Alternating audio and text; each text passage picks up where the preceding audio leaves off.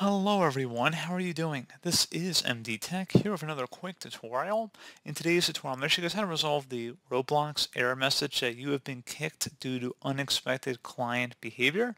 Error code 268, leave.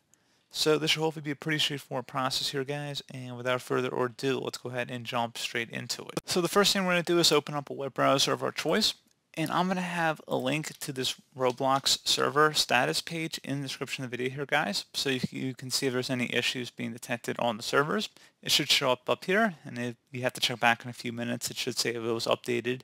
I'd recommend just checking back on this. You can see a history of different issues that were detected on the servers, so definitely worth taking a look at. You can also attempt to just close out of here and actually just relaunch your entire computer.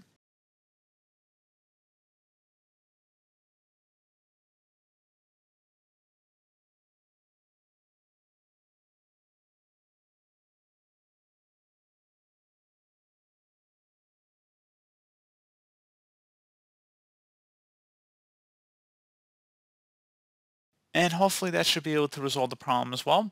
So, as always, thank you guys for watching this brief tutorial. Do hope I was able to help you out, and I do look forward to catching you all in the next tutorial. Goodbye.